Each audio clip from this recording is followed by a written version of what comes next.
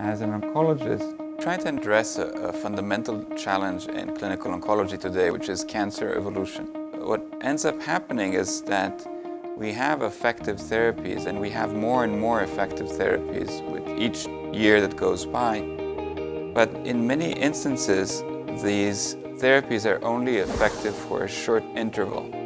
And after that time period, cancer evolves, comes back, and comes back in a more aggressive and resistant form and result in a disease that's very heterogeneous.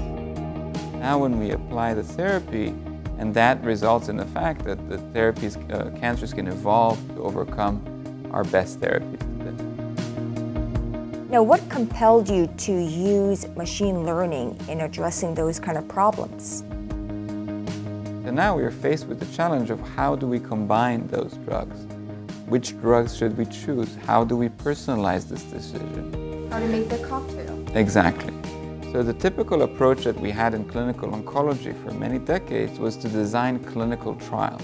And it breaks down when the number of different combinations in that cocktail becomes larger and larger. And we realize that we need to apply data science approaches that would allow us to uh, probabilistically anticipate the evolutionary potential of each individual leukemia in each individual patient. we started sampling the leukemia along the therapy, along the clinical course, every few weeks.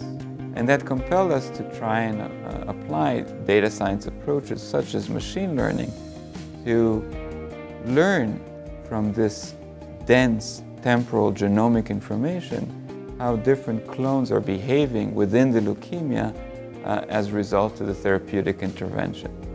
Uh, so now we are able to integrate, on the one hand, the scientific method that tries to define the underlying principles and make prediction based on that, with machine learning, artificial intelligence type methods that use this type of black box predictions, but we can then use to feed into our algorithm.